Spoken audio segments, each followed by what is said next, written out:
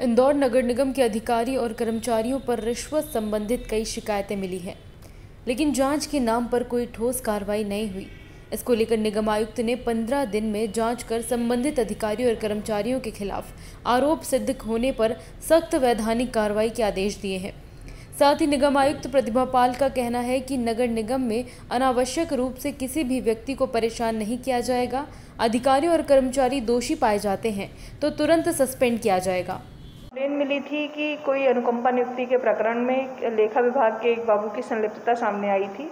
ये प्रथम दृष्टया घोर लापरवाही और अनुशासनहीनता के साथ साथ ऐसा केस है जिसको टॉलरेट नहीं किया जा सकता था, इसीलिए संबंधित जो भी बाबू थे उनको सस्पेंड किया गया है।